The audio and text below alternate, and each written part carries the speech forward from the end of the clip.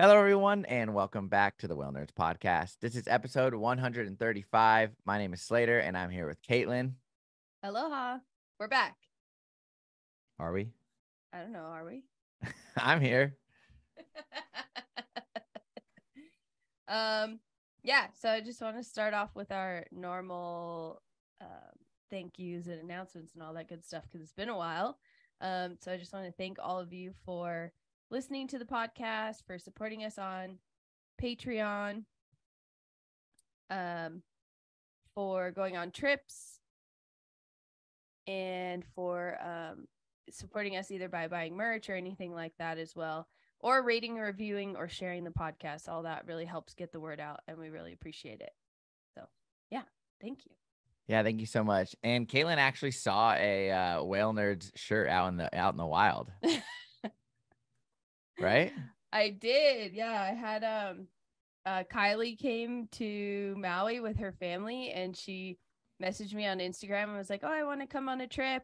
And um I was like, "Okay, cool. I'll see you." You know, we figured out what trip she was going to be on.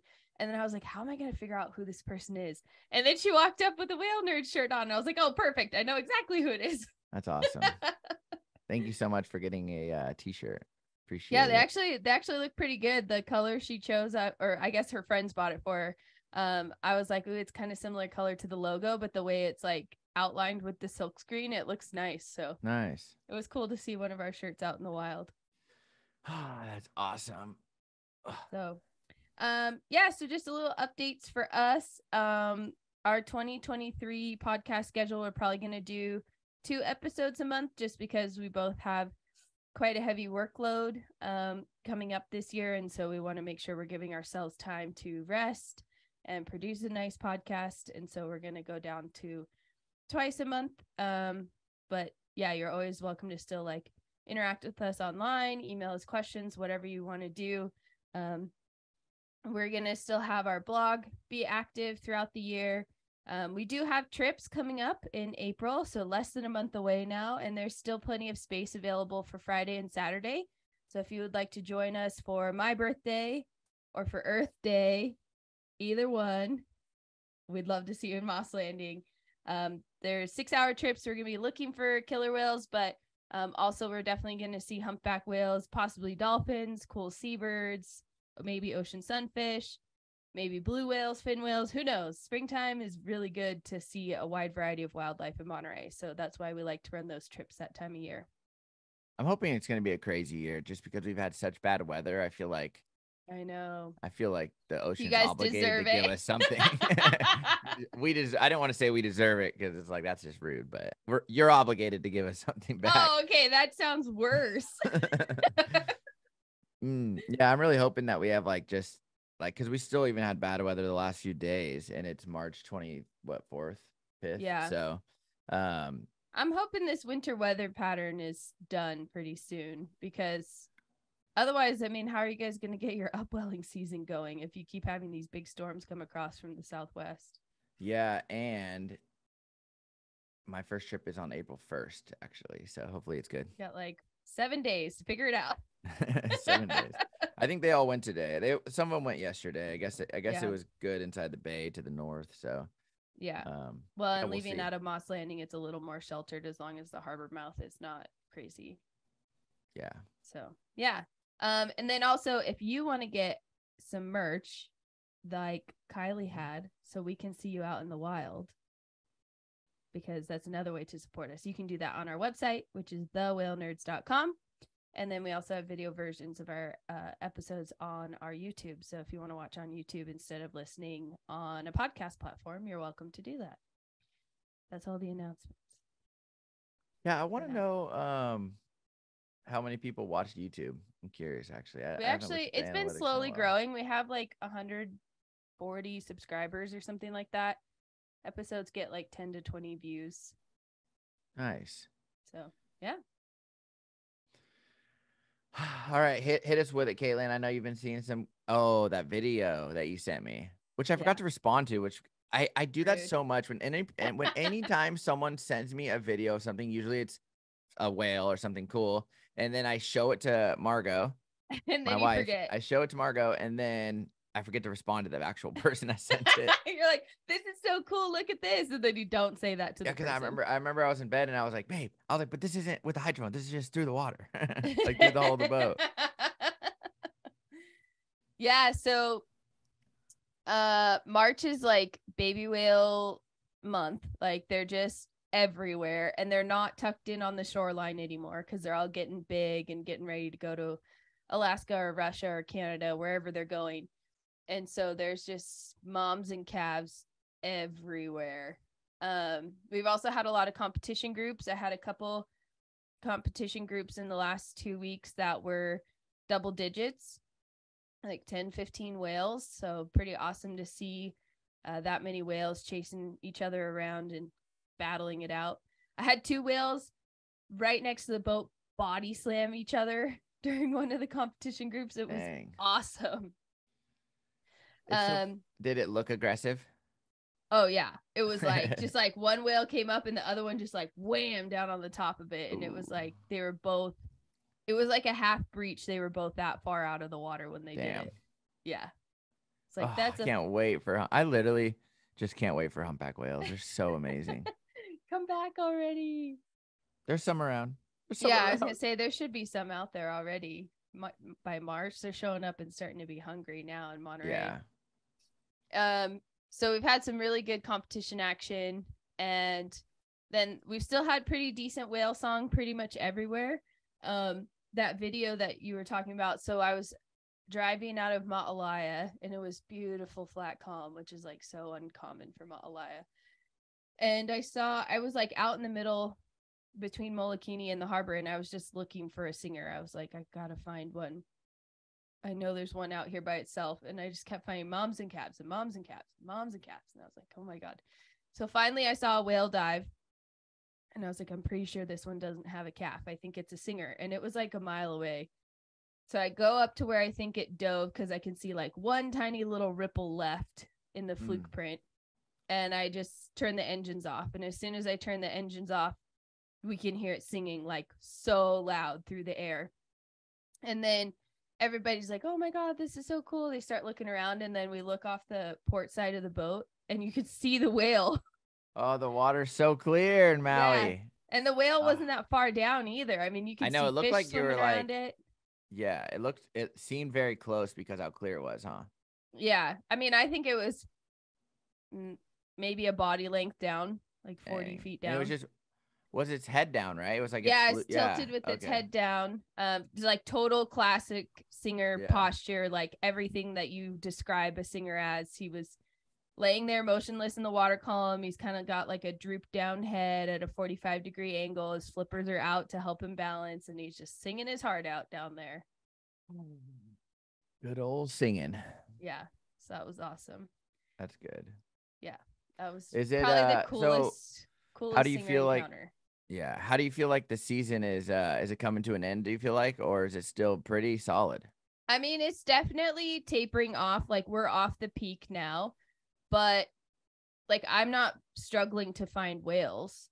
Yeah. You know what I mean? Like we're not at the point where I'm like, oh gosh, we might have to rain check these people. Not yet. I think. we'll Oh, you have had some rain checks? no at the beginning of the season and the end of the season we do sometimes though.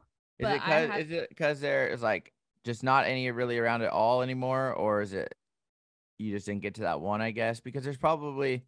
Do you guys have okay? Do you guys eventually just like cut off? Okay, we're not technically whale watching anymore. Yeah, so the Well, beginning of this do, the beginning of the season, quote unquote, we say is like December 15th. So we might start whale watching by like December 1st and only run a few trips a week and those preseason trips if we don't see whales, we give them a rain check. Um and then at the end of the season, usually in Maalaea we're done by like April 15th and then Lahaina we're done April 30th.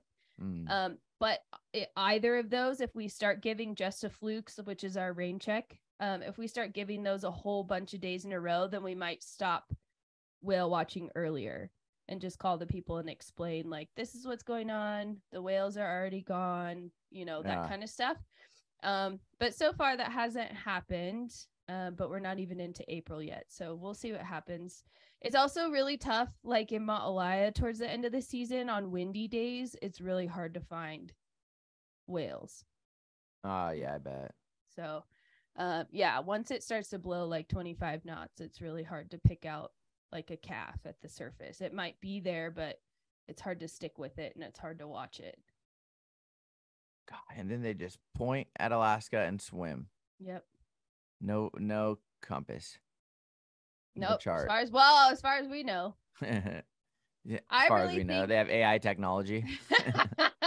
They've been just like talking to the satellites. They have their own satellites the whole time. Um I really think the more years I work in Maui, I really think they can hear the islands. Like I think that's how they get here. Is they can hear the volcanic activity, they can hear the movement of the water around the region. They definitely can just I think they just hear the island chain. That's how they get there. very weird to me the whole like hearing thing because it's like if boats bothered them they'd swim away right like there's that we have there's just proof with any kind of vessel there's proof of like friendly whales pretty much you know besides Mhm. maybe like cargo ships or whatever Mhm. but there's like Uh, even of then, we had a cruise Yeah. ship and a whale was friendly with it. A small cruise ship this season. The Safari yeah Explorer. i guess they, it just it's just like mugged. Who's was like, curious like it just i mean depends on if the whale's you know yeah, curious or not but i don't know it's just like but then you think that they can hear the volcanic activity hmm So it's like, is their hearing so good, or is it selective hearing, or what? You know what I mean? Can they shut it down? We don't even know. Can they Yeah. close? Can they close their ears a little bit? no, they're just like little pinholes on the side of their head. They don't. I know, but on the inside, do they have? They don't have any muscles that they could just like. I don't think so because their ear canal is like full of wax. Mm. You know how when you yawn, your ears like Pop. you can't you, you can't hear either when you're Yeah. yawning.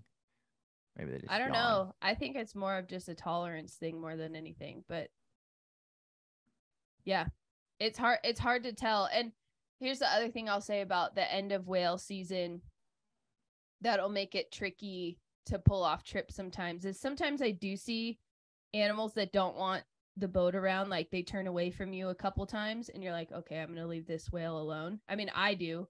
I'm not saying everyone does, but that's a good indicator of like a whale that doesn't want to be watched and like you've got to have the wisdom as a captain to be like okay these animals are here and we don't see any other animals but we're not going to harass them just because we want to see them Yeah. um and at the end of the season that starts to happen a lot too where like moms are Well, like it's "Listen, I'm- because if you think about it, there's a lot of operations, and then you get down to six whales or two whales in that like in that Yeah. whale watch range, Yeah. and if everyone's like, even if they're on off schedules, it's like they're all going to that whale to say hi to it and go and Yeah. then leave. So. Yeah, and that's starting to happen a lot more too.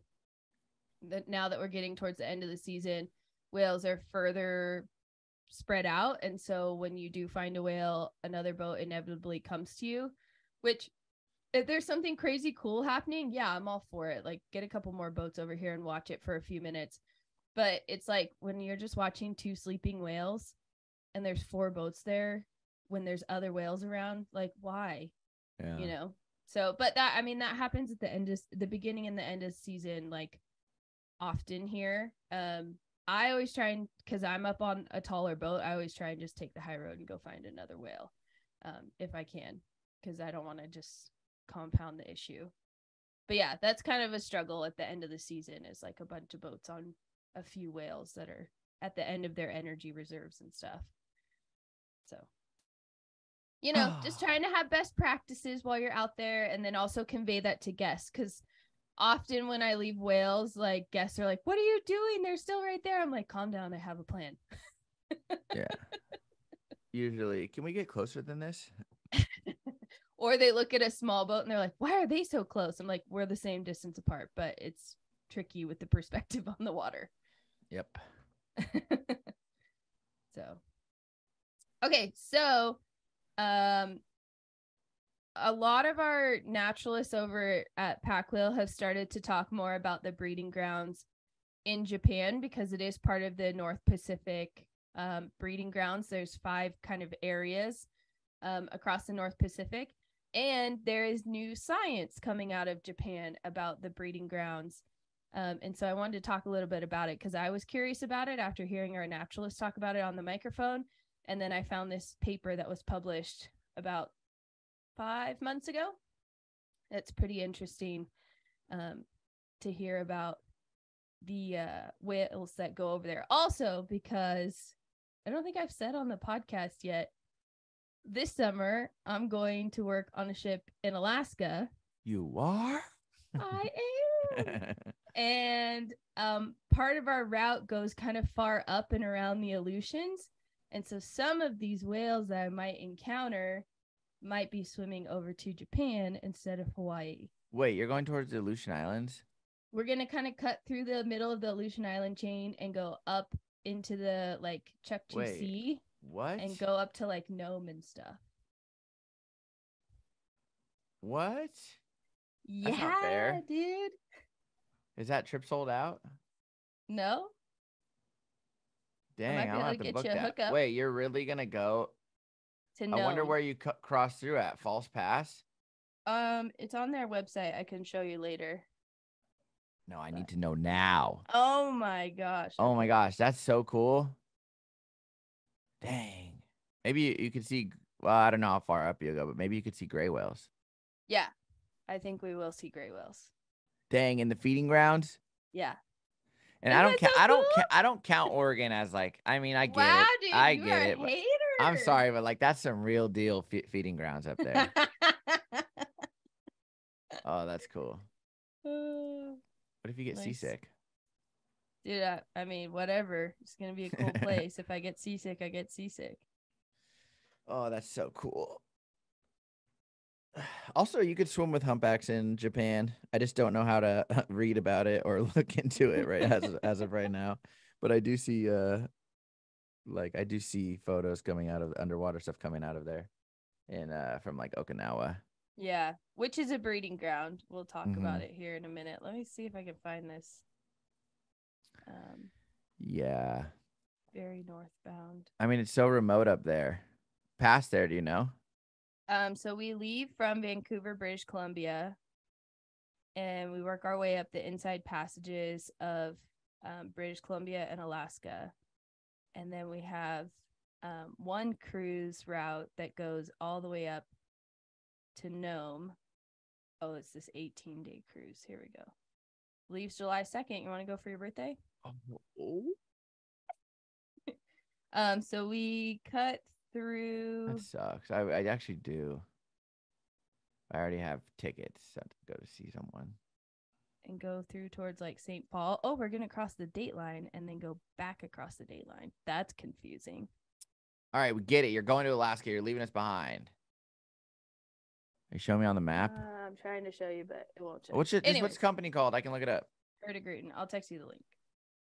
Pretty good. All right, back to reality. Anyways, okay. So I was curious about all these things because it's semi-relevant to me, and then also I just was curious, and there was new science, so I was like, perfect. That's exactly how I choose our podcast topics. if anyone's curious about how that process works. Okay, so we're just going to cover one paper, but there are uh there are quite a few papers kind of looking at this right now over the last couple years. And this was sort of touched on way back when during the Splash project as well. Um, they did get some samples of whales that were um, from these breeding grounds over off Japan and Philippines, but they just didn't get a lot of detailed information about it. So this paper was published in November in PLOS ONE, and it's called Interchanges and Movements of Humpback Whales in Japanese Waters, Okinawa, Ogas- Ogasawara, Amami, and Hokkaido, using an automated matching system. So in the western North Pacific, the waters around Ogasawara, Okinawa, Amami, Oshima, and the Philippines and the Mariana Archipelago are known breeding areas for humpback whales. So um, when you look at the furthest north location we're going to talk about is just coming down off of um, the Kamchatka Peninsula in Russia. The just north of the main Japan island is Hokkaido, and um, this area is actually gonna we're gonna find out more like a, a pass through area. Um, but there are lots of whale watching tours there. We've actually talked about it before with the Shiretoko cruises Yes. we really want to go there. Anyways, So got all for this- stuff. furthest north is Hokkaido. Then as you come down um off of Japan, you can kind of either split to the southwest and that's Amami and Okinawa, or you can split like south a little bit southeast and that's Ogasawara. And then further south even more from Ogasawara is the Marianas and then further south from Amami and Okinawa is the Philippines. So I'll try and kind of reference the locations of where we are throughout the um episode just to kind of help keep track of like where these whales are going. So there were studies done in the past that show that there are breeding areas in the western North Pacific and they think that they are all one population because there were humpback whales observed among all the different areas in the region um, like between Ogasawara and Okinawa and the Philippines. And then there were some exchange between the Mariana Archipelago and the other regions of Japan. There is a pretty significant difference, though, in their DNA um, between Ogasawara and both Okinawa and the Philippines, and then also between the Marianas Archipelago and Okinawa and the Philippines. So a straight line down is Okinawa and the Philippines, and then a straight line down is Ogasawara and the Mariana Archipelago. Um, so then people were starting to say, okay, based on genetics, maybe there are several subpopulations in this region of breeding grounds. Dang. Um, so is that kind of like our Maui, California, like that kind of thing? I think it's more mean, like Maui, Mexico. Mexico and Central America. Oh, So like like, yeah, like Ca- yeah, so Costa Rica and Yeah, like the locations aren't that far apart, and there is some exchange when you do the photo IDs. But then when you look at their genetics, they are sort of. so the ones that go to. Antarctica are different than the ones that go to like their genetics look a little different than the ones that go to California. Yeah, I mean they're fairly closely related, um, so like the whales in Central America and Mexico. But, anyways, there hasn't been a lot of science done yet. Whereas, like down on the eastern North Pacific, we're doing a lot of science with those whales. So this is like the first attempt to like get a whole picture. But like, what part of their DNA is different? I don't understand that. If they're just a humpback, Yeah, so there's these um little things that are called haplotype markers in their mitochondrial DNA, which is what they get from their grandma. And so that kind of shows those little details in the DNA kind of show how much interbreeding there is between whales. Shows how fam- like how much of a family they are versus a species. Mm. Does that make sense? Like family, I mean in the common term, like how relate are you all cousins or like, you know, and they are. They're all cousins. Well, there's actually the DNA right now is saying there there might be two distinct populations in there. But then the photo IDs show that the whales are moving between all the locations. So now we got to try and figure it out. Confusion. So, well, also, I wonder if that's why we get them going between breeding grounds. Yeah, could be. Yeah. He's like, ah, this is a bunch. This is all my cousins are here. I'm out. Yeah. I'm going to Mexico. I've seen all you people I'm going before. to Philippines. I've been here. So, um, part of how they defined all these areas as breeding grounds is they have seen a lot of mother and calf pairs, as well as mature individuals, repeatedly observed every year during the winter season, and not just passing through, but staying and utilizing those areas for more than a few days at a time during the winter. Um, they have also seen competitive groups of more than three whales, um, and in those areas as well. So, um, they have some sighting records of humpback whales off the southeastern side of Hokkaido, and a whale that was seen in that area was also seen in Okinawa. And so they think that Hokkaido is more of a migratory corridor for whales between the feeding grounds and the breeding grounds.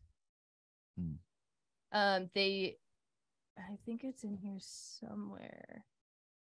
Um, they think Hokkaido is a potential feeding ground, but they don't have any evidence right now of humpback whales feeding in the area. But it's definitely a corridor that the whales use. Um, so far, there have been no studies conducted on the interchange of humpback whales among the different regions in Japan. Hmm.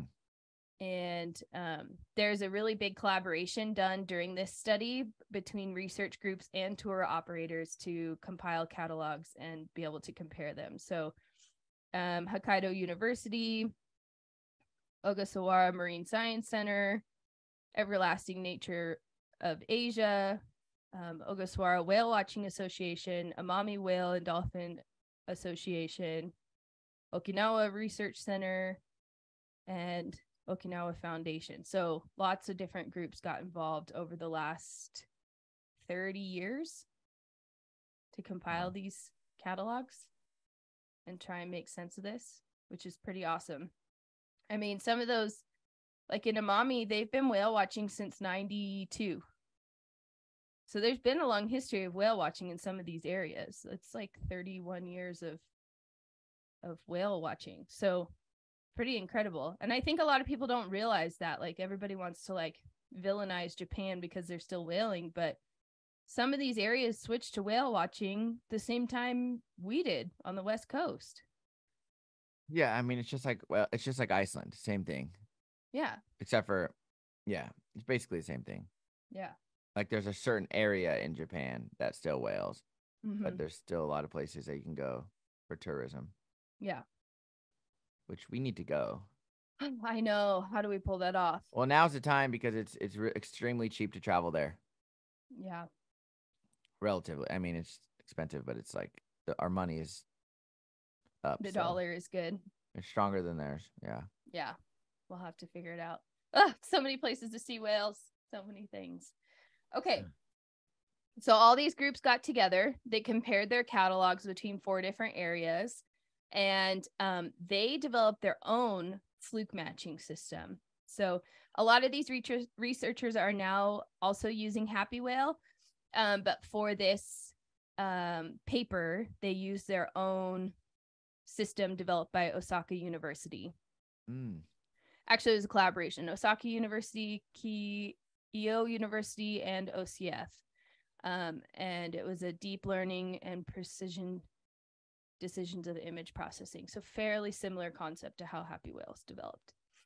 So overall they had 486 matches confirmed between the four regions three matches between hokkaido and okinawa. So very small sample size but there were whales matched between Hokkaido and Okinawa.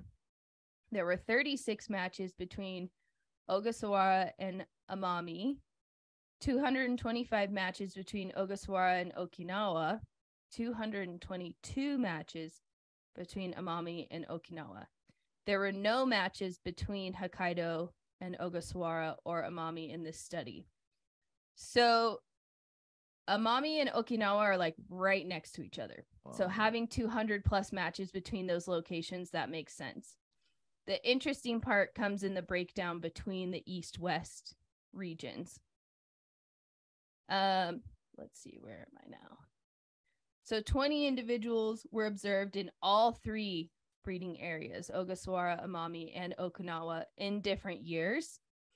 Um and of these some individuals had a preference to migrate to either Ogasawara or Okinawa, which are separated by quite a distance from east to west.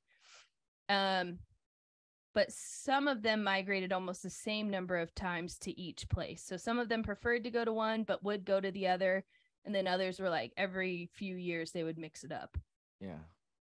Um, overall, fewer whales were seen in Amami compared to other locations over the years of study. And um, they found that in more than two different areas within or across different years, there was more likely to be males versus females moving between the regions. Um, but they That were on, they were only able to get a determination of male or female on about half of the individuals in the study. So there is some room for bias there. So, a hundred different individuals were observed in two different regions within the same season.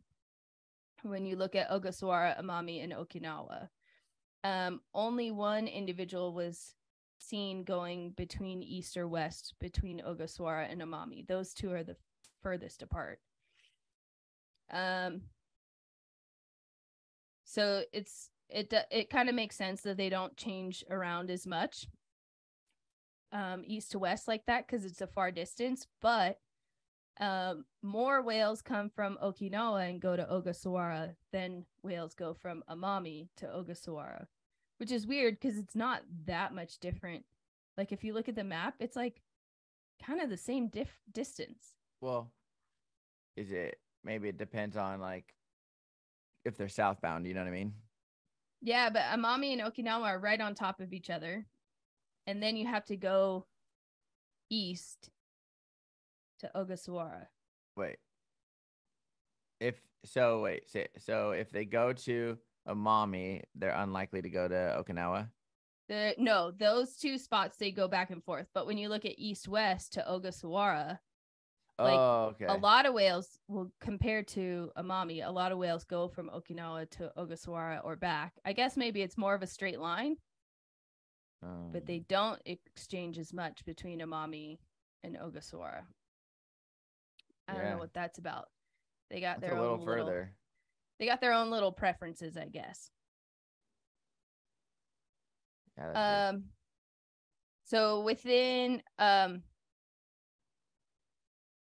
13 cases with 11 unique individuals were observed going between Ogasawara and Okinawa in the same season. Um and it took between 21 and 100 days to change between the two regions based on photo ID studies. It's an average of 42 days, which is interesting because it doesn't look that far. And then you think about like the humpbacks that went between Mexico and Hawaii, and it was like 50 days or something. yeah. And it's like, what are you doing lollygagging for a hundred days? Like, where were you? Maybe you just. Maybe the researchers just didn't weather. see them. maybe the researchers just didn't see them like they were there and that they didn't get photographed until 100 days later. Yeah, that's weird. So, um there were lots of cases of um humpback whales going between Amami and Okinawa. It was 100 cases with 88 unique individuals going between the two locations fairly close together in the same year. Which that makes sense because it's not that far apart. Um it the shortest time period it took between each location there was 4 days and the longest was 69 days. The average it took about s- 16 17 days to go between. Well, I'll bet you is there food. That's what we don't know, right? Like, so if there's food, they could stop and eat for a couple days. Yeah, we don't know. And those regions, like when you look at the map, like Ogasawara is one, two, three, four like islands that they study in that region. So like the whales could have been there for a while before someone saw them. So there's a lot of little nooks and crannies to check. It would be so amazing to follow a whale from any distance. Like, you know what I mean?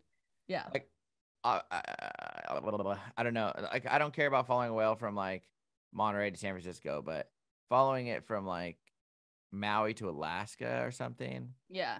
or even like, yeah, I don't know. One of these sounds really cool because they're not that far, but they're far. Mm-hmm. Yeah. It's like, oh, they just point at it. I don't I mean, yeah, I don't know. So weird. um and so basically if you want to get into like the the nitty-gritty details of how the whales are moving in each region. They were going east west they were going west east um it's discussed more in detail in the paper. There was a little bit of like some timing information and like movements and things like that. Um but it like you could get really bogged down it if down in it if you're not looking at the graphics at the same time. But whales are there's flow either way between the sites. It's not like they all go from Okinawa to Ogasawara, like they go back and forth how they want. So, after looking at all of this information and combining it with previous studies, what this paper is saying is that um, it's been suggested that humpback whales in Okinawa feed mainly off of the Kam- Kamchatka Peninsula in Russia in the summer, and their early arrival in Okinawa during the breeding season has been confirmed during the month of uh, December. Uh, the discovery of the same individuals in Hokkaido and Okinawa indicate that individuals spend the summer in the northern feeding grounds, migrate southward towards Okinawa using waters off the coast of Hokkaido as a corridor in the fall. Um, nevertheless, there is a possibility that Hokkaido area is a feeding ground for humpback whales. The environmental conditions, um, such as latitude and water temperature, are similar to those of known feeding areas such as California. However, the feeding behavior of humpback whales has never been reported in this area. So the the um, ingredients are there. We just haven't seen a, a produced recipe proving that whales are feeding there. So then they look at like as the whales get down towards the breeding grounds, what's happening. In the breeding areas of Amami and Okinawa, um, the southward migration from Amami to Okinawa was more frequent in the first half of the breeding season. So the more northern point is Amami. They get there first, and then they start moving down a little further to Okinawa. Um, and then at, at the end of the season, same thing. The whales are at a further south point down in Okinawa. They move back up to Amami, and then they keep going north to the feeding grounds. But then, of course, within that trend, there's whales that ping pong back and forth whenever they want during the middle of the season. so, this suggests that whales don't necessarily pass through these areas, but also go back and forth um, between areas during the breeding season. The utilization of multiple areas within a breeding season has also been observed in um, regions of Hawaii, and then further previous studies in Okinawa showed the same thing. Um, then there's also a similar southward trend early in the breeding season of whales passing by Okinawa and going to the Philippines and then doing the reverse late in the season coming up from the Philippines going to Okinawa and then keep moving up. Um. So then it's like, well now what? Do you think that they go all the way from Kamchatka in Russia down and from the eastern Bering Sea down the Aleutians, go to Hokkaido in the fall, keep going down, stop at those first two breeding grounds, then go down to the Philippines and then come back up? And if so, is that all one connected area? I mean, this is the same conversation we have about Mexico and Central America. Like, you see lots of whales get sighted in like Cabo or in Banderas Bay, and then they're sighted in El Salvador Well, or any of something these like is, this- that. is there an overlap down there? Like that's going that some are going south. In The Philippines and- or oh no, yeah, yeah, yeah. Some of those go to Antarctica, right? Uh, or not Antarctica. um, no. No. I think that's the furthest south they go. Wait, hold on. There's a, there's a population of whales somewhere over there though. Oh yeah, like the Tongan ones, I guess. Yeah, yeah. further that way. Yeah, but that's still That's Quite a bit way, further That's way south. further though. Yeah. Wait, so there's nothing that goes. I guess it would be Australia. I guess all Mhm. of that's just further south that goes to Antarctica. mm-hmm. Yep. Yeah, I don't think there's an equator exchange like there is off the coast of the Americas. That's weird. I mean, the coastline's also way different shaped Thing on, that, is, on is that side of well, I guess it's just to the peninsula, but what's the longest humpback um, migration population? Population wise. That's a good question. Like I feel like maybe Costa Rica to Antarctica, but depends on where they go in Antarctica. Yeah, They just the exactly. peninsula, maybe not. There's also been whales sighted from um, Tonga that go all the way to the Antarctic Peninsula. So that's also really, really far. Damn. Yeah. All right. Well, Breeding stock G, though, that goes from the Antarctic Peninsula all the way up to um, Central America is in the running for longest migration, which we will talk about in a future episode. I'm still researching all the details. Um, okay, so the right now the data in the study is showing that males were five times more frequently moving between all three breeding areas than females. makes sense. Yeah. And um, they also usually had twice as many males than females in the breeding grounds when you took a snapshot of the gender ratio. Um, Uh here's the thing is is they're they're going off of like the whale being scratched up and stuff, huh? Like, because says they're identifying it. I think it's based on the catalogs behavior. of the known male versus female. Oh, okay. Yeah. So, um, other studies also indicated that males move more between the breeding grounds than females. It makes sense. Um, but it should be noted that males are behaviorally more identifiable than females. They are more likely to fluke. And um, Really? yeah. So there is definitely some bias Is that and in the data they're saying. they're more likely to fluke? Is that like overall in all populations or this one? I think breeding ground behavior oh, wise. Oh, breeding ground. The males are more likely to fluke than the female. That's doesn't make any sense to me. Because the lot female of times would the be the females are resting. yeah, but I guess the females are lazy, but then at the same time, the female's usually the one that like flukes up, and then the males, if it's like a compod, they don't fluke. Yeah, but then when you're with a mom and calf, it takes forever to get an ID on the mom. She never flukes. Yeah, I guess it depends on the scenario though, because you know what I mean. Like, Mhm. like let's say we have Flopsy, like, and she has 3 Mhm. males, like two years, three years in a row now. She's been having males follow her around at the end of the season, Mhm. and then she just will fluke up like super slow, and then the males Mhm. will all, like fast pace arch and go down. Yeah. So, you know what I mean? That's how I usually like, okay, that's like that's the one that's the female because she's like not worried about the, you know. Yeah, I guess it, it kind of just depends on their behavior and what they're doing, but you're more likely to get the male flukes than you are the female flukes. Um there but that being said, females have definitely changed between breeding grounds. So that's pretty interesting because that's not super common. Um, there was a small number of IDs matched between Hokkaido and all the way down in the Mariana Archipelago um and that's they said that it's a very small sample size so they definitely need more data to make sense of that information. But when you look at the the underwater features of this whole region it does seem like the whales are using like the trenches and the islands to navigate just based on where they go and how they get there um or how they seem to get there. They're definitely following like the edges of the island chain coming off the Kamchatka Peninsula, going down to Hokkaido. There's a pretty clear trench and set of islands right there. Then coming down the um, east coast of Japan, they can either keep going straight down, go to Ogasawara, keep following that trench, go down to the Mariana Archipelago, or when they come off Hokkaido, come down the coast of Japan, they can go west, follow that trench and the rest of the Japanese island chain and end up over at Amami or Okinawa and then keep following that trench and end up down in the Philippines. Hmm. It's a lot of So- different routes. Yeah, but they're like kind of defined. Like if you took the map, it looks like a roadway. Yeah. So I don't know.